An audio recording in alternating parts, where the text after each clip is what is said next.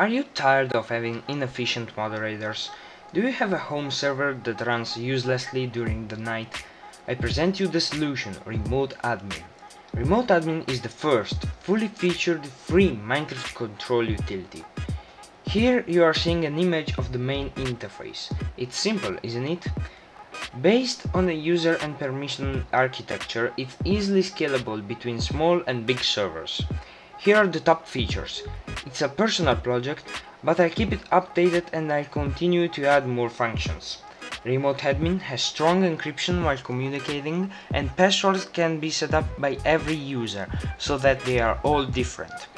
Here's a look at a user's complete configuration file.